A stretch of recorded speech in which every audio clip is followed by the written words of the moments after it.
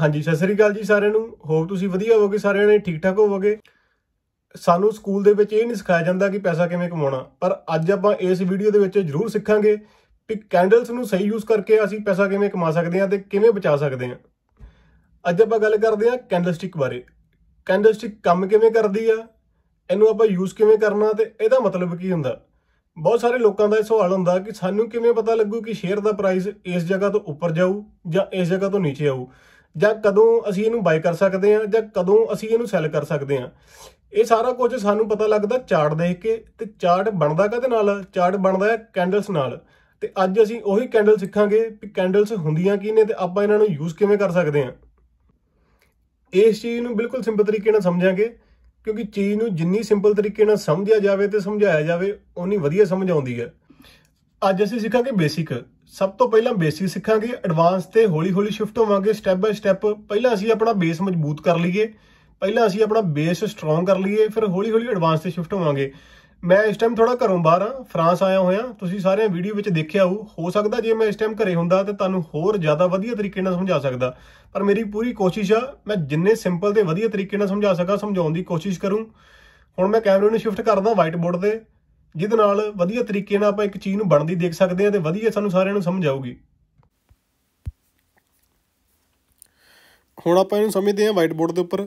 ਹਮੇਸ਼ਾ ਜਦੋਂ ਵੀ ਆਪਾਂ ਕਿਸੇ ਵੀ ਸ਼ੇਅਰ ਦਾ ਚਾਰਟ ਓਪਨ ਕਰਦੇ ਹਾਂ, ਹਮੇਸ਼ਾ ਸਾਨੂੰ ਇਦਾਂ ਦਾ ਗ੍ਰਾਫ ਬਣਿਆ ਹੁੰਦਾ। ਇਹਨੂੰ ਆਪਾਂ ਕਹਿੰਦੇ ਆ ਲਾਈਨ ਗ੍ਰਾਫ। ਇੱਕ ਹੁੰਦਾ ਇਦਾਂ ਦੇ ਬਾਕਸ ਬਣੇ ਹੁੰਦੇ ਆ। ਇਹਨੂੰ ਆਪਾਂ ਕਹਿ ਦਿੰਨੇ ਆ ਕੈਂਡਲਸਟਿਕ ਇਹਨਾਂ ਦਾ ਹਮੇਸ਼ਾ ਦੋ ਰੰਗ ਹੁੰਦੇ ਨੇ ਇਹਨਾਂ ਦੇ। ਇੱਕ ਤਾਂ ਹੁੰਦਾ ਰੈੱਡ, ਇੱਕ ਤਾਂ ਹੁੰਦਾ ਇਹਨਾਂ ਦਾ ਗ੍ਰੀਨ। ਹਮੇਸ਼ਾ ਜਦੋਂ ਵੀ ਅਸੀਂ ਕਿਸੇ ਵੀ ਸ਼ੇਅਰ ਦੇ ਵਿੱਚ ਟ੍ਰੇਡ ਕਰਨੀ ਆ, ਹਮੇਸ਼ਾ ਆਪਾਂ ਕੈਂਡਲਸਟਿਕ ਚਾਰਟ ਦੇਖ ਕੇ ਟ੍ਰੇਡ ਕਰਨੀ ਆ, ਕਦੇ ਵੀ ਅਸੀਂ ਲਾਈਨ ਗ੍ਰਾਫ ਦੇਖ ਕੇ ਟ੍ਰੇਡ ਨਹੀਂ ਕਰਨੀ। ਇੰਨਾ ਸਾਨੂੰ ਪਤਾ ਲੱਗ ਗਿਆ, ਹੁਣ ਅਸੀਂ ਆਉਨੇ ਆ ਕੈਂਡਲਸਟਿਕ ਤੇ। ਕੈਂਡਲ ਹੁੰਦੀ ਕੀ ਆ, ਕੈਂਡਲ ਬਣਦੀ ਕਿਵੇਂ ਆ ਤੇ ਇਹਦਾ ਮਤਲਬ ਕੀ ਆ? ਪਹਿਲਾਂ ਆਪਾਂ ਸਮਝਦੇ ਆ ਕੈਂਡਲ। ਆ ਹੋ ਗਈ ਕੈਂਡਲ ਦੀ ਬਾਡੀ ਇਹਨੂੰ ਅਸੀਂ ਬਾਡੀ ਕਹਿੰਦੇ ਆ ਇੱਕ ਕਾਪੀ ਪੈਨ ਲਾ ਕੇ ਰੱਖ ਲਓ ਨੋਟ ਕਰ ਲਓ ਕਾਪੀ ਤੇ, ਵਧੀਆ ਸਮੇਂ ਲੱਗੂ। ਇਹਨੂੰ ਅਸੀਂ ਬਾਡੀ ਕਹਿੰਦੇ ਆ ਆ ਹੁੰਦੀ ਹੈ ਵਿਕ ਜਿਹਨੂੰ ਅਸੀਂ ਵਿਕ ਕਹਿ ਦਿੰਦੇ ਆ ਇਹ ਉੱਪਰ ਵੀ ਹੋ ਸਕਦੀ ਆ, ਇਹ ਨੀਚੇ ਵੀ ਹੋ ਸਕਦੀ ਆ ਤੇ ਇਹ ਦੋਨੋਂ ਸਾਈਡ ਉੱਪਰ ਵੀ ਹੋ ਸਕਦੀ ਆ। ਇਹਨੂੰ ਅਸੀਂ ਕਹਿ ਦਿੰਦੇ ਆ ਵਿਕ ਵਿਕ ਦਾ ਮਤਲਬ ਹੋਇਆ ਫੇਕ ਪ੍ਰਾਈਸ ਇਹਨੂੰ ਅਸੀਂ ਕਹਿੰਦੇ ਆ ਫੇਕ ਪ੍ਰਾਈਸ ਫੇਕ ਪ੍ਰਾਈਸ ਤੇ ਬੋਡੀ ਨੂੰ ਅਸੀਂ ਕਹਿੰਦੇ ਆ ਰੀਅਲ ਪ੍ਰਾਈਸ ਜੋ ਅਸਲ ਦੇ ਵਿੱਚ ਹੈਗਾ। ਰੀਅਲ ਪ੍ਰਾਈਸ ਵਿਕ ਦਾ ਮਤਲਬ ਹੋਇਆ ਵੀ ਪ੍ਰਾਈਸ ਨੀਚੇ ਆਇਆ ਸੀਗਾ, ਪਰ ਉੱਪਰ ਚਲ ਗਿਆ। ਤੇ ਆ ਉੱਪਰ ਵਾਲੀ ਵਿਕ ਦਾ ਮਤਲਬ ਕਿ ਪ੍ਰਾਈਸ ਉੱਪਰ ਗਿਆ ਸੀਗਾ, ਪਰ ਨੀਚੇ ਆ ਗਿਆ। ਤੇ ਆ ਬੋਡੀ ਦਾ ਮਤਲਬ ਜੋ ਅਸਲ ਦੇ ਵਿੱਚ ਪ੍ਰਾਈਸ ਹੈਗਾ, ਨੀਚੇ ਜਾਣ ਤੋਂ ਬਾਅਦ ਉੱਪਰ ਆਇਆ, ਉੱਪਰ ਜਾਣ ਤੋਂ ਬਾਅਦ ਨੀਚੇ ਆਇਆ, ਅਸਲ ਦੇ ਵਿੱਚ ਐਂਡ ਦੇ ਵਿੱਚ ਪ੍ਰਾਈਸ ਨੇ ਜਿਸ ਲੈਵਲ ਤੇ ਆਪਣੇ ਆਪ ਨੂੰ ਸਸਟੇਨ ਕੀਤਾ, ਉਹਨੂੰ ਅਸੀਂ ਬੋਡੀ ਕਹਿੰਦੇ ਆ ਇਹਨਾਂ ਆਪਾਂ ਨੂੰ ਪਤਾ ਲੱਗ ਗਿਆ ਬੋਡੀ ਕੀ ਹੁੰਦੀ ਆ ਵਿਕ ਕੀ ਹੁੰਦੀ ਆ। ਵਿਕ ਨੂੰ ਅਸੀਂ ਸ਼ੈਡੋ ਵੀ ਕਹਿ ਸਕਦੇ ਹਾਂ। ਵਿਕ ਨੂੰ ਅਸੀਂ ਸ਼ੈਡੋ ਵੀ ਕਹਿ ਸਕਦੇ ਹਾਂ। ਸ਼ੈਡੋ ਸ਼ੈਡੋ ਮਤਲਬ ਬੋਡੀ ਦਾ ਪਰਛਾਵਾਂ। ਜਿਵੇਂ ਆਪਾਂ ਨੂੰ ਬੋਡੀ ਦੇਖ ਰਹੀ ਨਾ ਆ ਬੋਡੀ ਹੋ ਗਈ। ਆ ਕੀ ਹੋ ਗਿਆ? ਆ ਹੋ ਗਿਆ ਇਹਦਾ ਪਰਛਾਵਾਂ। ਇਹਨੂੰ ਅਸੀਂ ਬੋਡੀ ਦਾ ਪਰਛਾਵਾਂ ਵੀ ਕਹਿ ਸਕਦੇ ਹਾਂ। ਹੁਣ ਅਸੀਂ ਸਿੱਖਦੇ ਹਾਂ ਵੀ ਕੈਂਡਲਸ ਹੁੰਦੀਆਂ ਕਿੰਨੇ ਤਰ੍ਹਾਂ ਦੀਆਂ ਨੇ।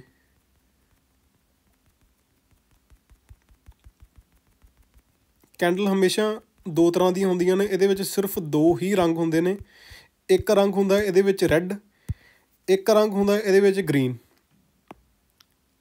ਚਾਰਟ ਤੇ ਐਕਸਪਲੇਨ ਕਰਦਾ ਮੈਂ। ਮੰਨ ਲਓ ਇਹਦਾ ਰੰਗ ਰੈੱਡ ਆ। ਇਹਦਾ ਰੰਗ ਆ ਗ੍ਰੀਨ ਇਹਦੇ ਉੱਪਰ ਵਿਕਾ ਇਹਦੇ ਨੀਚੇ ਵਿਕਾ ਰੈੱਡ ਦਾ ਮਤਲਬ ਕੀ ਹੋ ਗਿਆ? ਰੈੱਡ ਦਾ ਮਤਲਬ ਸੈਲਰ ਸੈਲਰ ਮਤਲਬ ਜੋ ਲੋਕ ਚਾਹੁੰਦੇ ਨੇ ਕਿ ਪ੍ਰਾਈਸ ਨੀਚੇ ਜਾਵੇ। ਜੋ ਲੋਕ ਚਾਹੁੰਦੇ ਨੇ ਵੀ ਸ਼ੇਅਰ ਦਾ ਪ੍ਰਾਈਸ ਨੀਚੇ ਜਾਵੇ। ਤੇ ਗ੍ਰੀਨ ਦਾ ਮਤਲਬ ਗ੍ਰੀਨ ਦਾ ਮਤਲਬ ਹੋ ਗਿਆ ਬਾਇਰਸ ਬਾਇਰ ਮਤਲਬ ਜੋ ਲੋਕ ਚਾਹੁੰਦੇ ਨੇ ਕਿ ਸ਼ੇਅਰ ਦਾ ਪ੍ਰਾਈਸ ਉੱਪਰ ਜਾਵੇ, ਇੰਨਾ ਪਤਾ ਲੱਗ ਗਿਆ ਆਪਾਂ ਨੂੰ ਬੋਡੀ ਦਾ ਕਿ ਗ੍ਰੀਨ ਦੇ ਵਿੱਚ ਤੇ ਰੈੱਡ ਦੇ ਵਿੱਚ ਕੀ ਡਿਫਰੈਂਸ ਹੁੰਦਾ। ਹੁਣ ਜਿਹੜੀ ਆ ਵਿਕ ਆ ਵਿਕ ਦਾ ਕੀ ਮਤਲਬ ਆ? ਪ੍ਰਾਈਸ ਉੱਪਰ ਗਿਆ ਤਾਂ ਸੀਗਾ ਬਾਇਰ ਨੇ ਇਹਨੂੰ ਉੱਪਰ ਲੈ ਕੇ ਜਾਣ ਦੀ ਕੋਸ਼ਿਸ਼ ਕੀਤੀ ਸੀਗੀ, ਪਰ ਇਹਨੂੰ ਉੱਪਰ ਸਸਟੇਨ ਨਹੀਂ ਕਰ ਸਕੇ ਤੇ ਪ੍ਰਾਈਸ ਨੀਚੇ ਆ ਗਿਆ। ਅਸਲ ਦੇ ਵਿੱਚ ਜੋ ਪ੍ਰਾਈਸ ਦਾ ਐਂਡ ਦੇ ਵਿੱਚ ਜੋ ਪ੍ਰਾਈਸ ਦਾ ਬਣਿਆ ਪੈਟਰਨ ਉਹ ਸੀਗੀ ਆ ਬਾਡੀ ਐਨੀ ਸਮਝ ਆ ਗਈ ਆਪਾਂ ਨੂੰ?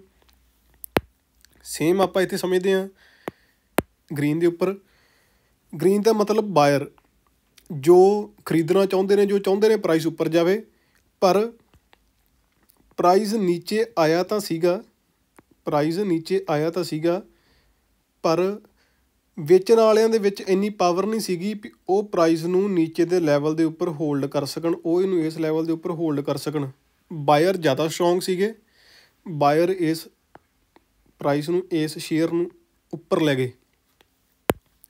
ਹੁਣ ਆਪਣਾ ਇੰਨਾ ਕੁ ਬੇਸਿਕ ਤਾਂ ਕਲੀਅਰ ਹੋ ਗਿਆ ਹੋਊ ਵੀ ਰੈੱਡ ਦਾ ਮਤਲਬ ਕੀ ਹੁੰਦਾ ਗ੍ਰੀਨ ਦਾ ਮਤਲਬ ਕੀ ਹੁੰਦਾ ਤੇ ਵਿਕ ਦਾ ਮਤਲਬ ਕੀ ਹੁੰਦਾ? ਵਿਕ ਦਾ ਮਤਲਬ ਕਿਸੇ ਲੈਵਲ ਤੇ ਪ੍ਰਾਈਸ ਗਿਆ ਤਾਂ ਸੀਗਾ, ਪਰ ਆਪਣੇ ਆਪ ਨੂੰ ਉਸ ਲੈਵਲ ਤੇ ਹੋਲਡ ਨਹੀਂ ਕਰ ਸਕਿਆ ਤੇ ਨੀਚੇ ਆ ਗਿਆ।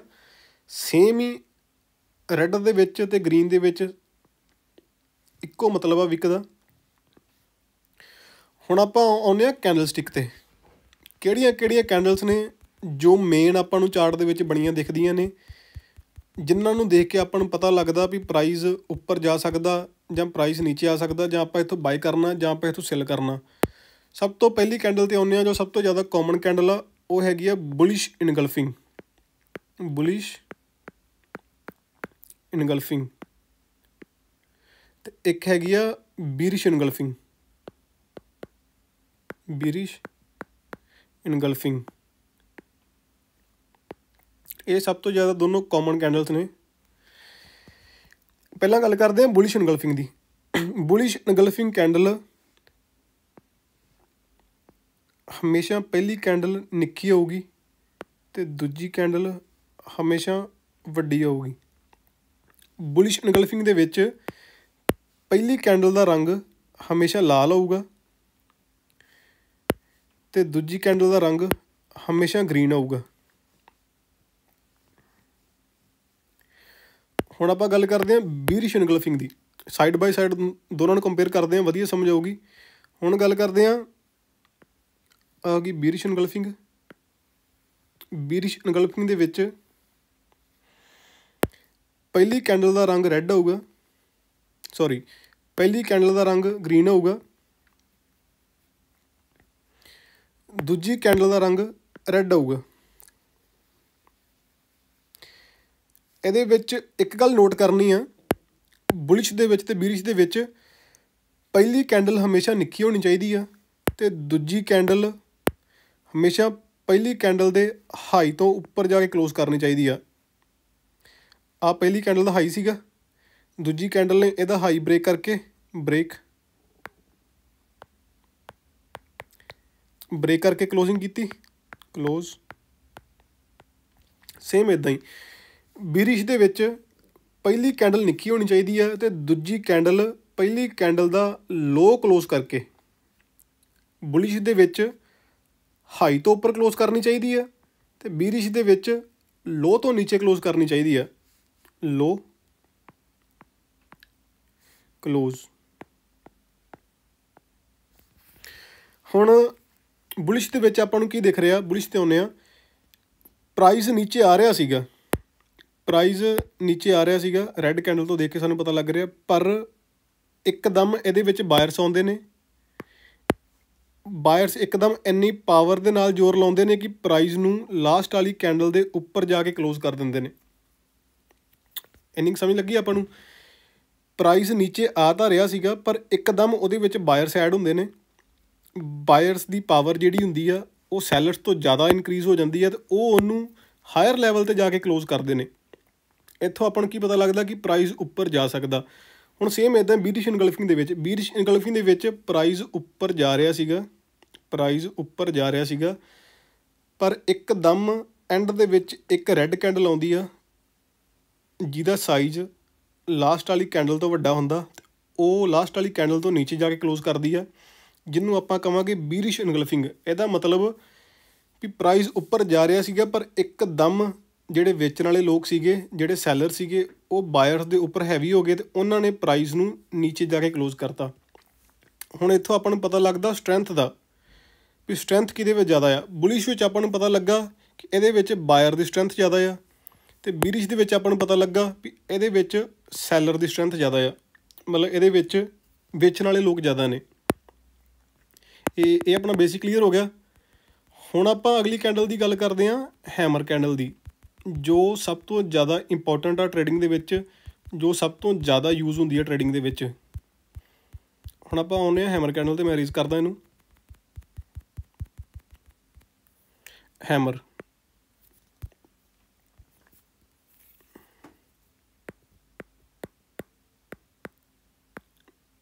ਇਹ ਸਭ ਤੋਂ ਜ਼ਿਆਦਾ ਇੰਪੋਰਟੈਂਟ ਕੈਂਡਲ ਆ। ਹੈਮਰ ਕੈਂਡਲ ਦੇ ਵਿੱਚ ਇੱਕ ਯਾਦ ਰੱਖਣ ਵਾਲੀ ਚੀਜ਼ ਆ ਹੈਮਰ ਕੈਂਡਲ ਦੀ ਬਾਡੀ ਬੋਡੀ ਦਾ ਸਾਈਜ਼ ਹਮੇਸ਼ਾ ਨਿੱਕਾ ਹੋਊ, ਵਿਕ ਦਾ ਸਾਈਜ਼ ਜਿਹਨੂੰ ਆਪਾਂ ਸ਼ੈਡੋ ਕਹਿ ਦਿੰਦੇ ਆ ਇੱਥੇ ਮੈਂ ਲਿਖ ਦਿੰਦਾ ਨਾਲ, ਵਿਕ ਤੇ ਬੋਡੀ ਬੋਡੀ ਦਾ ਸਾਈਜ਼ ਹਮੇਸ਼ਾ ਨਿੱਕਾ ਹੋਊ ਤੇ ਵਿਕ ਦਾ ਸਾਈਜ਼ ਹਮੇਸ਼ਾ ਬੋਡੀ ਤੋਂ 3 ਗੁਣਾ ਜ਼ਿਆਦਾ ਹੋਊ 3x 3 ਗੁਣਾ ਜ਼ਿਆਦਾ ਹੋਊ। ਇਹਦਾ, ਇਹਨੂੰ ਆਪਾਂ ਚਾਰਟ ਤੇ ਸਮਝਦੇ ਹਾਂ, ਇਹਦਾ ਮਤਲਬ ਕਿ ਮੰਨ ਲਓ ਪ੍ਰਾਈਸ ਨੀਚੇ ਆ ਰਿਹਾ ਸੀਗਾ। ਕੋਈ ਵੀ ਸ਼ੇਅਰ ਆ, ਉਹ ਨੀਚੇ ਆ ਰਿਹਾ। ਰੈੱਡ ਕੈਂਡਲ ਦੇਖ ਕੇ ਆਪਾਂ ਨੂੰ ਪਤਾ ਲੱਗ ਰਿਹਾ ਨੀਚੇ ਆ ਰਿਹਾ। ਪਰ ਇੱਕਦਮ ਐਂਡ ਦੇ ਉੱਪਰ ਇੱਕ ਕੈਂਡਲ ਆਉਂਦੀ ਆ। ਲਾਸਟ ਉੱਪਰ ਇੱਕ ਕੈਂਡਲ ਆਉਂਦੀ ਆ, ਕਿਸੇ ਇੱਕ ਲੈਵਲ ਤੇ ਜਾ ਕੇ, ਜਿਹਦਾ ਰੰਗ ਗ੍ਰੀਨ ਹੁੰਦਾ। ਤੇ ਜਿਹਦੀ ਵਿਕ ਬਹੁਤ ਜ਼ਿਆਦਾ ਲੰਮੀ ਹੁੰਦੀ ਆ। ਹੁਣ ਇੱਥੇ ਸਾਨੂੰ ਕੀ ਪਤਾ ਲੱਗ ਰਿਹਾ? ਪ੍ਰਾਈਸ ਨੀਚੇ ਆ ਰਿਹਾ। ਸੈਲਰ ਉਹਨੂੰ ਨੀਚੇ ਲੈ ਕੇ ਆ ਰਹੇ ਆ। ਪਰ ਇੱਕ ਲੈਵਲ ਤੇ ਆ ਕੇ ਸੈਲਰ ਦੀ ਜਿਹੜੀ ਪਾਵਰ ਆ, ਉਹ ਘਟ ਗਈ। ਵੇਚਣ ਵਾਲੇ ਲੋਕਾਂ ਦੀ ਜਿਹੜੀ ਪਾਵਰ ਆ, ਜਿਹੜੀ ਉਹਨਾਂ ਦੀ ਸਟਰੈਂਥ ਆ, ਉਹ ਘਟ ਗਈ ਤੇ ਇੱਕਦਮ ਉਸ ਲੈਵਲ ਤੇ ਜਾ ਕੇ ਇੱਕ ਇਹੋ ਜੀ ਕੈਂਡਲ ਆਉਂਦੀ ਆ, ਜਿਹਨੂੰ ਅਸੀਂ ਹੈਮਰ ਕਹਿੰਦੇ ਆ, ਜਿਹਦੇ ਨੀਚੇ ਬਹੁਤ ਲੰਮੀ ਇੱਕ ਵਿਕ ਹੁੰਦੀ ਆ ਤੇ ਉੱਪਰ ਬਾਡੀ ਹੁੰਦੀ ਆ ਗ੍ਰੀਨ ਰੰਗ ਦੀ, ਜਿਹਨੂੰ ਅਸੀਂ ਕਹਿੰਦੇ ਆ ਹੈਮਰ ਇਹਦਾ ਮਤਲਬ ਵੀ ਵੇਚਣ ਵਾਲੇ ਲੋਕਾਂ ਨੂੰ ਨੀਚੋਂ ਬਹੁਤ ਜ਼ਿਆਦਾ ਰਿਜੈਕਸ਼ਨ ਮਿਲ ਗਈ। ਹੁਣ ਉਹਨਾਂ ਦਾ ਇੰਟਰਸਟ ਹੈ ਨਹੀਂ ਵੇਚਣ ਦੇ ਵਿੱਚ। ਹੁਣ ਇੱਥੇ ਜਾ ਕੇ ਬਾਇਰ ਸਾਈਡ ਹੁੰਦੇ ਨੇ, ਜਿਹੜੇ ਬਹੁਤ ਜ਼ਿਆਦਾ ਸਟਰੈਂਥ ਲੈ ਕੇ, ਬਹੁਤ ਜ਼ਿਆਦਾ ਪਾਵਰ ਲੈ ਕੇ ਆਉਂਦੇ ਨੇ। ਇੱਥੋਂ ਸਾਨੂੰ ਇਹ ਪਤਾ ਲੱਗਦਾ ਵੀ ਇਸ ਤੋਂ ਅੱਗੇ ਵਾਲਾ ਟ੍ਰੈਂਡ ਆ ਜਿਹੜਾ, ਉਹ ਬੁਲਿਸ਼ ਆ। ਮਤਲਬ ਇਸ ਤੋਂ ਅੱਗੇ ਪ੍ਰਾਈਸ ਉੱਪਰ ਜਾ ਸਕਦਾ। ਕਿਵੇਂ ਪਤਾ ਲੱਗਾ? ਪ੍ਰਾਈਸ ਨੀਚੇ ਆ ਰਿਹਾ ਸੀਗਾ। ਨੀਚੇ ਜਾ ਕੇ ਇੱਕ ਕੈਂਡਲ ਆਈ ਹੈਮਰ ਹੈਮਰ ਨੇ ਟ੍ਰੈਂਡ ਚੇਂਜ ਕਰਤਾ। ਉਸ ਤੋਂ ਬਾਅਦ ਸਾਨੂੰ ਪਤਾ ਲੱਗਾ ਕਿ ਹੁਣ ਸੈਲਰ ਦੀ, ਵੇਚਣ ਵਾਲੇ ਲੋਕਾਂ ਦੀ ਜਿਹੜੀ ਪਾਵਰ ਆ ਪਾਵਰ ਘਟ ਗਈ ਆ, ਹੁਣ ਉਹਨਾਂ ਦਾ ਇੰਟਰਸਟ ਹੈ ਨਹੀਂ। ਹੁਣ ਇੱਥੋਂ ਬਾਇਰ ਇਹਨੂੰ ਪੁਸ਼ ਕਰਨ ਦੀ ਕੋਸ਼ਿਸ਼ ਕਰਨਗੇ ਤੁਹਾਨੂੰ ਇਹਨਾਂ ਆਪਾਂ ਨੂੰ ਪਤਾ ਲੱਗ ਗਿਆ ਹੈਮਰ ਕੈਂਡਲ ਕੀ ਹੁੰਦੀ ਹੈ ਹੁਣ ਅਸੀਂ ਸਿੱਖਦੇ ਹਾਂ shooting star shooting star same ਇੱਕ ਹੈਮਰ ਦੀ ਤਰ੍ਹਾਂ ਆ। ਸਿਰਫ ਉਹਦੇ ਵਿੱਚ ਫ਼ਰਕ ਕੀ ਹੁੰਦਾ? ਉਹਨੂੰ ਅਸੀਂ ਪੁੱਠੀ ਕਰਕੇ ਉਲਟੀ ਸਾਈਡ ਤੋਂ ਕਰਕੇ ਦੇਖਦੇ ਹਾਂ। ਇੱਥੇ ਡਰਾ ਕਰਕੇ ਦੇਖਦੇ ਹਾਂ। ਹੁਣ ਗੱਲ ਕਰਦੇ ਹਾਂ ਸ਼ੂਟਿੰਗ ਸਟਾਰ ਦੀ। Shooting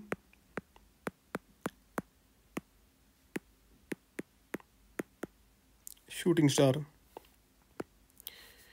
shooting star ਦੀ ਬਾਡੀ ਵੀ ਜਮਾ ਨਿੱਕੀ ਹੋਊਗੀ। ਤੇ ਇਹਦੀ ਜਿਹੜੀ ਵਿਕ ਆ ਵਿਕ ਹਮੇਸ਼ਾ ਇਹਦੀ ਲੌਂਗ ਹੋਊਗੀ ਸ਼ੂਟਿੰਗ ਸਟਾਰ ਦੀ। ਆ ਗਈ ਇਹਦੀ ਬਾਡੀ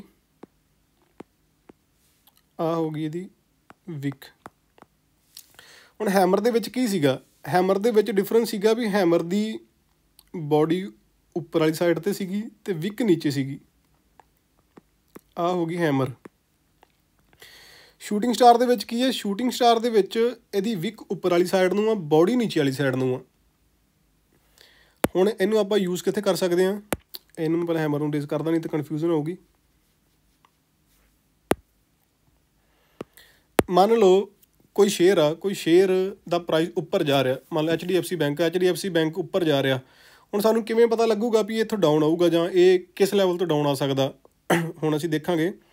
ਮੰਨ ਲਓ ਪ੍ਰਾਈਸ ਉੱਪਰ ਜਾ ਰਿਹਾ। ਇੱਕ ਲੈਵਲ ਤੇ ਜਾ ਕੇ ਉੱਪਰ ਸ਼ੂਟਿੰਗ ਸਟਾਰ ਕੈਂਡਲ ਆਉਂਦੀ ਆ, ਜਿਹਦੀ ਬਾਡੀ ਨਿੱਕੀ ਹੁੰਦੀ ਆ ਤੇ ਵਿਕ ਬਹੁਤ ਜ਼ਿਆਦਾ ਹਾਈ ਹੁੰਦੀ ਆ। ਹੁਣ ਸਾਨੂੰ ਇੱਥੇ ਕੀ ਪਤਾ ਲੱਗ ਰਿਹਾ? ਬਾਇਰਸ ਇਹਨੂੰ ਉੱਪਰ ਲੈ ਕੇ ਜਾ ਰਹੇ ਸੀਗੇ, ਖਰੀਦਣ ਵਾਲੇ ਲੋਕ ਇਹਨੂੰ ਉੱਪਰ ਲੈ ਕੇ ਜਾ ਰਹੇ ਸੀਗੇ, ਪਰ ਕਿਸੇ ਲੈਵਲ ਤੇ ਜਾ ਕੇ ਉਹਨਾਂ ਦਾ ਇੰਟਰਸਟ ਘਟ ਗਿਆ, ਕਿਸੇ ਲੈਵਲ ਤੇ ਜਾ ਕੇ ਉਹਨਾਂ ਦੀ ਪਾਵਰ ਘਟ ਗਈ। ਸੇਮ ਲੈਵਲ ਤੇ ਜਾ ਕੇ ਇੱਕ ਕੈਂਡਲ ਆਉਂਦੀ ਆ, ਜਿਹਦੀ ਵਿਕ ਬਹੁਤ ਜ਼ਿਆਦਾ ਲੰਮੀ ਹੁੰਦੀ ਆ। ਵਿਕ ਦਾ ਮਤਲਬ ਵੀ ਉਹਨੂੰ ਰਿਜੈਕਸ਼ਨ ਮਿਲੀ ਉਸ ਲੈਵਲ ਤੋਂ। ਰਿਜੈਕਸ਼ਨ ਦਾ ਮਤਲਬ ਵੀ ਖਰੀਦਣ ਵਾਲੇ ਲੋਕਾਂ ਦੇ ਵਿੱਚ ਪਾਵਰ ਘਟ ਗਈ, ਹੁਣ ਉਹਨੂੰ ਉੱਪਰ ਲੈ ਕੇ ਨਹੀਂ ਜਾ ਸਕਦੇ ਹੋਰ। ਸੇਮ ਲੈਵਲ ਤੇ ਜਾ ਕੇ ਇੱਕ ਸ਼ੂਟਿੰਗ ਸਟਾਰ ਕੈਂਡਲ ਆਉਂਦੀ ਹੈ ਉਸ ਕੈਂਡਲ ਤੋਂ ਸਾਨੂੰ ਕੀ ਪਤਾ ਲੱਗਦਾ ਵੀ ਹੁਣ ਇਸ ਲੈਵਲ ਤੋਂ ਪ੍ਰਾਈਸ ਨੀਚੇ ਆ ਸਕਦਾ। ਮਤਲਬ ਹੁਣ ਇਸ ਲੈਵਲ ਤੋਂ ਪ੍ਰਾਈਸ ਨੀਚੇ ਆ ਸਕਦਾ। ਹੁਣ ਜਿਹੜੇ ਸੈਲਰਸ ਨੇ, ਉਹਨਾਂ ਨੇ ਪ੍ਰਾਈਸ ਨੂੰ ਆਪਣੇ ਕੰਟਰੋਲ ਦੇ ਵਿੱਚ ਕਰ ਲਿਆ। ਇਹਨਾਂ ਦੋਵਾਂ ਕੈਂਡਲਸ ਦਾ ਸਾਨੂੰ ਪਤਾ ਲੱਗ ਗਿਆ। ਸ਼ੂਟਿੰਗ ਸਟਾਰ ਤੇ ਹੈਮਰ ਕੀ ਹੁੰਦੀ ਆ? ਇੱਕ ਵਾਰੀ ਮੈਂ ਫਿਰ ਦੋਨਾਂ ਵਿੱਚ ਡਿਫਰੈਂਸ ਦੱਸ ਦਿੰਦਾ ਇੱਥੇ ਸਮਝਦੇ ਹਾਂ। ਸ਼ੂਟਿੰਗ ਸਟਾਰ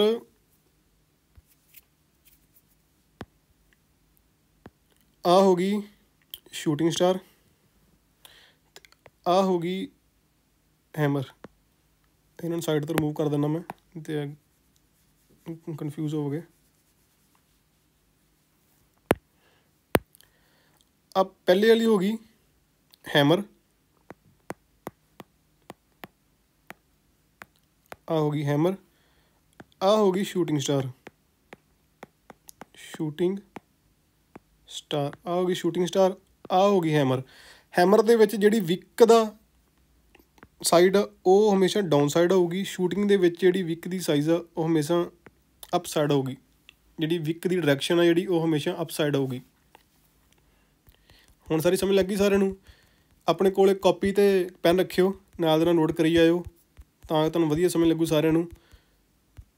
ਹੁਣ ਆਪਾਂ ਅਗਲੀ ਕੈਂਡਲ ਤੇ ਆਉਨੇ ਆ ਡੋਜੀ ਡੋਜੀ ਕੈਂਡਲ ਨਾ ਤੇ ਸਾਨੂੰ ਦੱਸਦੀ ਆ ਕਿ ਪ੍ਰਾਈਸ ਉੱਪਰ ਜਾਊ ਤੇ ਨਾ ਤੇ ਸਾਨੂੰ ਦੱਸਦੀ ਆ ਕਿ ਪ੍ਰਾਈਸ ਨਿੱਕੇ, ਨੀਚੇ ਆਊਗਾ। ਹੁਣ ਆਪਾਂ ਗੱਲ ਕਰਦੇ ਹਾਂ ਡੋਜੀ ਦੀ। ਡੋਜੀ ਕੈਂਡਲ ਇਹ ਵੀ ਸਾਨੂੰ ਬਹੁਤ ਜ਼ਿਆਦਾ ਦੇਖਣ ਨੂੰ ਮਿਲਦੀ ਹੈ ਡੋਜੀ ਡੋਜੀ ਕੈਂਡਲ ਦਾ ਬਾਡੀ ਹਮੇਸ਼ਾ ਇਹਦੀ ਨਿੱਕੀ ਹੋਊਗੀ, ਇਹਦੀ ਵਿਕ ਦਾ ਸਾਈਜ਼ ਵੱਡਾ ਹੋਊਗਾ, ਪਰ ਇਹਦੇ ਵਿੱਚ ਵਿਕ ਉੱਪਰਲੀ ਸਾਈਡ ਤੇ ਵੀ ਸੇਮ ਹੋਊਗੀ ਤੇ ਨੀਚੇ ਵਾਲੀ ਸੇਮ ਸਾਈਡ ਤੇ ਵੀ ਸੇਮ ਹੋਊਗੀ। ਮਤਲਬ ਬਾਡੀ ਨਿੱਕੀ ਹੋਊਗੀ, ਪਰ ਜਿਹੜੀ ਵਿਕ ਆ, ਵਿਕ ਦੋਨੋਂ ਸਾਈਡ ਤੇ ਹੋਊਗੀ। ਉੱਪਰ ਵੀ ਹੋਊਗੀ, ਵਿਕ ਨੀਚੇ ਵੀ ਹੋਊਗੀ। ਇਹਦਾ ਰੰਗ ਕੋਈ ਵੀ ਹੋ ਸਕਦਾ। ਇਹਦਾ ਰੰਗ ਰੈੱਡ ਵੀ ਹੋ ਸਕਦਾ, ਇਹਦਾ ਰੰਗ ਗ੍ਰੀਨ ਵੀ ਹੋ ਸਕਦਾ। ਹੁਣ ਸਾਨੂੰ ਇਹ ਕੈਂਡਲ ਕੀ ਦੱਸ ਰਹੀ ਆ ਸਾਨੂੰ ਇਹ ਕੈਂਡਲ ਦੱਸ ਰਹੀ ਆ ਕਿ ਪ੍ਰਾਈਸ ਉੱਪਰ ਜਾ ਰਿਹਾ ਸੀਗਾ। ਪ੍ਰਾਈਸ ਉੱਪਰ ਜਾ ਰਿਹਾ ਸੀਗਾ। ਬਾਇਰਸ ਲੈ ਕੇ ਜਾ ਰਹੇ ਸੀ ਇਹਨੂੰ ਉੱਪਰ। ਬਾਇਰ ਪਰ ਉਹਨਾਂ ਵਿੱਚ ਇੰਨੀ ਪਾਵਰ ਨਹੀਂ ਸੀਗੀ ਕਿ ਉਹਨੂੰ ਉੱਪਰ ਲੈ ਕੇ ਜਾ ਸਕਦੇ। ਪ੍ਰਾਈਸ ਨੀਚੇ ਆ ਗਿਆ। ਇਸ ਲੈਵਲ ਤੇ ਆ ਕੇ ਉਹਨੇ ਕਲੋਜ਼ਿੰਗ ਕਰਤੀ ਆਪਣੀ। ਇਸ ਲੈਵਲ ਤੇ ਆ ਕੇ ਕਲੋਜ਼ਿੰਗ ਹੋ ਗਈ। ਹੁਣ ਜਿਹੜੀ ਨੀਚੇ ਵਾਲੀ ਵਿਕ ਆ, ਇਹ ਸਾਨੂੰ ਕੀ ਦੱਸ ਰਹੀ ਹੈ ਸੇਮ ਉਦਾਂ ਹੀ ਪ੍ਰਾਈਸ ਨੀਚੇ ਜਾ ਰਿਹਾ ਸੀਗਾ। ਸੈਲਰ ਕੋਲ ਇੰਨੀ ਪਾਵਰ ਨਹੀਂ ਸੀਗੀ, ਉਹ ਨੀਚੇ ਹੋਲਡ ਕਰ ਸਕਦੇ। ਰਿਜੈਕਸ਼ਨ ਮਿਲੀ। ਪ੍ਰਾਈਸ ਨੇ ਇੱਥੇ ਆ ਕੇ ক্লোਜ਼ ਕਰਤਾ। ਇਹਦੇ ਵਿੱਚ ਕੀ ਦੇਖਣ ਨੂੰ ਮਿਲ ਰਿਹਾ? ਨਾ ਤਾਂ ਸੈਲਰ ਕੋਲ ਇੰਨੀ ਪਾਵਰ ਆ ਕਿ ਪ੍ਰਾਈਸ ਨੂੰ ਨੀਚੇ ਲੈ ਕੇ ਜਾ ਸਕਣ, ਨਾ ਤਾਂ ਬਾਇਰਸ ਕੋਲ ਇੰਨੀ ਪਾਵਰ ਆ ਕਿ ਪ੍ਰਾਈਸ ਨੂੰ ਉੱਪਰ ਲੈ ਕੇ ਜਾ ਸਕਣ। ਦੋਨਾਂ ਦੇ ਕੋਲ ਇਕੁਅਲ ਪਾਵਰ ਆ। ਮਤਲਬ ਦੋਨੋਂ ਇਸ ਜਗ੍ਹਾ ਤੇ ਫਾਈਟ ਕਰ ਰਹੇ ਆ। ਦੋਨੋਂ ਇਸ ਜਗ੍ਹਾ ਤੇ ਬਰਾਬਰ ਫਾਈਟ ਕਰ ਰਹੇ ਆ। ਬਾਇਰਸ ਚਾਹੁੰਦੇ ਨੇ ਕਿ ਪ੍ਰਾਈਸ ਉੱਪਰ ਜਾਵੇ ਸੈਲਰਸ ਚਾਹੁੰਦੇ ਨੇ ਪ੍ਰਾਈਸ ਨੀਚੇ ਜਾਵੇ, ਪਰ ਦੋਨਾਂ ਦੀ ਜਿਹੜੀ ਪਾਵਰ ਆ ਪਾਵਰ ਉਹਨਾਂ ਦੀ ਸੇਮ ਆ। ਹੁਣ ਆਪਾਂ ਨੂੰ ਪਤਾ ਕਿਵੇਂ ਲੱਗੂਗਾ ਵੀ ਇਸ ਤੋਂ ਬਾਅਦ ਪ੍ਰਾਈਸ ਉੱਪਰ ਜਾਊ ਜਾਂ ਨੀਚੇ ਜਾਊ? ਮੰਨ ਲਓ ਇੱਕ ਡੋਜ਼ੀ ਬਣਦੀ ਆ ਆ ਬਣ ਗਈ ਡੋਜ਼ੀ। ਇਹਦਾ ਰੰਗ ਕੋਈ ਵੀ ਹੋ ਸਕਦਾ, ਇਹਦਾ ਰੰਗ ਰੈੱਡ ਵੀ ਹੋ ਸਕਦਾ, ਇਹਦਾ ਰੰਗ ਗ੍ਰੀਨ ਵੀ ਹੋ ਸਕਦਾ। ਡੋਜ਼ੀ ਤੋਂ ਬਾਅਦ ਇੱਕ ਕੈਂਡਲ ਆਉਂਦੀ ਆ ਜਿਹੜੀ ਡੋਜ਼ੀ ਦੇ ਬਰਾਬਰ ਤੋਂ ਸ਼ੁਰੂ ਹੋ ਕੇ ਡੋਜ਼ੀ ਦੇ ਹਾਈ ਤੇ ਜਾ ਕੇ ক্লোਜ਼ ਕਰਦੀ, ਮਤਲਬ ਡੋਜ਼ੀ ਦੇ ਡੋਜ਼ੀ ਦੇ ਹਾਈ ਤੋਂ ਉੱਪਰ ਜਾ ਕੇ ক্লোਜ਼ ਕਰਦੀ ਹੈ। ਤੇ ਕੈਂਡਲ ਦਾ ਰੰਗ ਹੈ ਗ੍ਰੀਨ ਡੋਜ਼ੀ ਤੋਂ ਬਾਅਦ ਇੱਕ ਕੈਂਡਲ ਆਉਂਦੀ ਹੈ ਜਿਹਦਾ ਰੰਗ ਹੈ ਗ੍ਰੀਨ ਇਹ ਡੋਜ਼ੀ ਦੇ ਉੱਪਰ ਜਾ ਕੇ ক্লোਜ਼ ਕਰਦੀ ਹੈ। ਇਹਦਾ ਮਤਲਬ ਕੀ ਹੋਇਆ? ਇਸ ਲੈਵਲ ਦੇ ਉੱਪਰ, ਇਸ ਲੈਵਲ ਦੇ ਉੱਪਰ ਬਾਇਰ ਤੇ ਸੈਲਰਸ ਦੋਨੋਂ ਇਕੁਅਲ ਫਾਈਡਾਈ ਕਰਨ ਦੋਨਾਂ ਦੀ ਪਾਵਰ ਸੇਮ ਸੀਗੀ, ਪਰ ਲਾਸਟ ਦੇ ਉੱਪਰ ਇੱਕ ਕੈਂਡਲ ਆਉਂਦੀ ਆ, ਜਿਹਦੇ ਵਿੱਚ ਬਾਇਰ ਜ਼ਿਆਦਾ ਸਟਰੋਂਗ ਹੋ ਜਾਂਦੇ ਨੇ। ਹੁਣ ਸਾਨੂੰ ਕੀ ਪਤਾ ਲੱਗੂਗਾ ਵੀ ਇੱਥੋਂ ਪ੍ਰਾਈਸ ਅੱਪ ਜਾ ਸਕਦਾ। ਪਰ ਜੇ ਡੋਜ਼ੀ ਤੋਂ ਬਾਅਦ ਜੇ ਰੈੱਡ ਕੈਂਡਲ ਆਉਂਦੀ ਆ, ਜਿਹੜੀ ਡੋਜ਼ੀ ਤੇ ਲੋ ਤੇ ਜਾ ਕੇ ক্লোਜ਼ ਕਰਦੀ ਆ, ਫਿਰ ਸਾਨੂੰ ਕੀ ਪਤਾ ਲੱਗੂਗਾ? ਇੱਕ ਡੋਜ਼ੀ ਕੈਂਡਲ ਸੀਗੀ, ਇੱਥੇ ਦੱਸਦਾ ਤੁਹਾਨੂੰ ਮੈਂ, ਇੱਕ ਡੋਜ਼ੀ ਸੀਗੀ ਜਿਹਦੇ ਵਿੱਚ ਬਾਇਰ ਤੇ ਸੈਲਰਸ ਇਕੁਅਲ ਸੀਗੇ। ਦੋਨਾਂ ਦੀ ਫਾਈਟ ਸੇਮ ਹੋ ਰਹੀ ਸੀਗੀ, ਦੋਨਾਂ ਦੀ ਪਾਵਰ ਸੇਮ ਸੀਗੀ, ਕਿਸੇ ਵੀ ਸਾਈਡ ਨਹੀਂ ਜਾ ਰਹੇ ਸੀਗੇ। ਪਰ ਉਹਦੇ ਤੋਂ ਬਾਅਦ ਇੱਕ ਰੈੱਡ ਕੈਂਡਲ ਆਉਂਦੀ ਆ ਸਟਰੋਂਗ ਕੈਂਡਲ ਆਉਂਦੀ ਆ, ਜਿਹੜੀ ਡੋਜੀ ਤੋਂ ਨੀਚੇ ਜਾ ਕੇ ক্লোਜ਼ ਕਰਦੀ ਆ। ਇਹਦਾ ਮਤਲਬ ਵੀ ਜਿਹੜੇ ਵੇਚਣ ਵਾਲੇ ਲੋਕ ਨੇ, ਉਹ ਖਰੀਦਣ ਵਾਲੇ ਲੋਕਾਂ 'ਤੇ ਹੈਵੀ ਹੋ ਗਏ ਨੇ। ਇੱਥੋਂ ਸਾਨੂੰ ਪਤਾ ਲੱਗ ਸਕਦਾ ਕਿ ਹੁਣ ਪ੍ਰਾਈਸ ਨੀਚੇ ਜਾ ਸਕਦਾ। ਹੁਣ ਇੱਥੋਂ ਕੀ ਸਿੱਖਣ ਨੂੰ ਮਿਲਿਆ ਸਾਨੂੰ? ਪਹਿਲੀ ਕੈਂਡਲ ਸੀਗੀ ਡੋਜੀ ਜਿਹੜੀ ਨਾ ਉੱਪਰ ਜਾ ਰਹੀ ਸੀਗੀ, ਨਾ ਨੀਚੇ ਜਾ ਰਹੀ ਸੀਗੀ ਬਾਇਰਸ ਤੇ ਸੈਲਰਸ ਆਪਸ ਵਿੱਚ ਇਕੁਅਲ ਫਾਈਟ ਡੇ ਕਰਨ। ਕੋਈ ਵੀ ਟ੍ਰੈਂਡ ਨਹੀਂ ਡਿਸਾਈਡ ਹੋਣ ਡਿਆ। ਉਸ ਤੋਂ ਬਾਅਦ ਡੋਜੀ ਤੋਂ ਬਾਅਦ ਇੱਕ ਗ੍ਰੀਨ ਕੈਂਡਲ ਆਉਂਦੀ ਆ। ਉਹ ਤੋਂ ਸਾਨੂੰ ਪਤਾ ਲੱਗਦਾ ਕਿ ਪ੍ਰਾਈਸ ਉੱਪਰ ਜਾ ਸਕਦਾ। ਜੇ ਡੋਜੀ ਤੋਂ ਬਾਅਦ ਇੱਕ ਸਟਰੋਂਗ ਰੈੱਡ ਕੈਂਡਲ ਆਉਂਦੀ ਹੈ ਸਾਨੂੰ ਪਤਾ ਲੱਗ ਸਕਦਾ ਕਿ ਹੁਣ ਇੱਥੋਂ ਪ੍ਰਾਈਸ ਨੀਚੇ ਜਾ ਸਕਦਾ, ਕਿਉਂਕਿ ਹੁਣ ਵੇਚਣ ਵਾਲੇ ਲੋਕ ਸੈਲਰਸ ਜ਼ਿਆਦਾ ਹੈਵੀ ਹੋ ਗਏ ਨੇ। ਇੱਥੋਂ ਤੱਕ ਆਪਾਂ ਸਾਰਿਆਂ ਨੂੰ ਸਮਝ ਆ ਗਈ? ਅੱਜ ਆਪਾਂ ਇਸ ਵੀਡੀਓ ਦੇ ਵਿੱਚ ਸਾਰੇ ਸਾਰੇ ਬੇਸਿਕ ਕੀਤੇ ਨੇ ਕਲੀਅਰ ਵੀ ਕੈਂਡਲ ਹੁੰਦੀ ਕੀ ਆ ਬਾਡੀ ਕੀ ਹੁੰਦੀ ਆ ਵਿਕ ਕੀ ਹੁੰਦੀ ਆ। ਜੇ ਵਿਕ ਬਾਡੀ ਦੇ ਉੱਪਰਲੀ ਸਾਈਡ ਤੇ, ਉਹਦਾ ਮਤਲਬ ਕੀ ਆ? ਜੇ ਨੀਚੇ ਵਾਲੀ ਸਾਈਡ ਤੇ, ਉਹਦਾ ਮਤਲਬ ਕੀ ਆ? ਜੇ ਵਿਕ ਦੋਨੋਂ ਸਾਈਡ ਤੇ ਆ ਉਹਦਾ ਮਤਲਬ ਕੀ ਆ? ਅੱਜ ਆਪਣੇ ਸਾਰੇ ਸਾਰੇ ਬੇਸਿਕ ਕਲੀਅਰ ਹੋਏ ਨੇ। ਹੁਣ ਨੈਕਸਟ ਵੀਡੀਓ ਦੇ ਉੱਪਰ ਇਹ ਸਾਰਾ ਕੁਝ ਆਪਾਂ ਟ੍ਰੇਡਿੰਗ ਵਿਊ ਦੇ ਉੱਪਰ ਚਾਰਟ ਦੇ ਉੱਪਰ ਸਮਝਾਂਗੇ ਵੀ ਇਹ ਕੈਂਡਲ ਨੂੰ ਆਪਾਂ ਯੂਜ਼ ਕਿੱਥੇ ਕਰ ਸਕਦੇ ਆ ਤੇ ਕਿਹੜੀ ਜਗ੍ਹਾ ਤੇ ਯੂਜ਼ ਕਰਾਂਗੇ ਤੇ ਇਹਦਾ ਜਿਹੜਾ ਰਿਜ਼ਲਟ ਆ, ਆਪਾਂ ਨੂੰ ਵਧੀਆ ਮਿਲੂਗਾ। ਇਹ ਸਾਰਾ ਕੁਝ ਆਪਾਂ ਨੈਕਸਟ ਵੀਡੀਓ ਦੇ ਉੱਪਰ ਸਮਝਾਂਗੇ। ਹੋਪ ਜੇ ਤੁਹਾਨੂੰ ਸਾਰਿਆਂ ਨੂੰ ਵੀਡੀਓ ਵਧੀਆ ਲੱਗੀ ਹੋਵੇ, ਤੇ ਲਾਈਕ ਤੇ ਸਬਸਕ੍ਰਾਈਬ ਜ਼ਰੂਰ ਕਰਿਓ।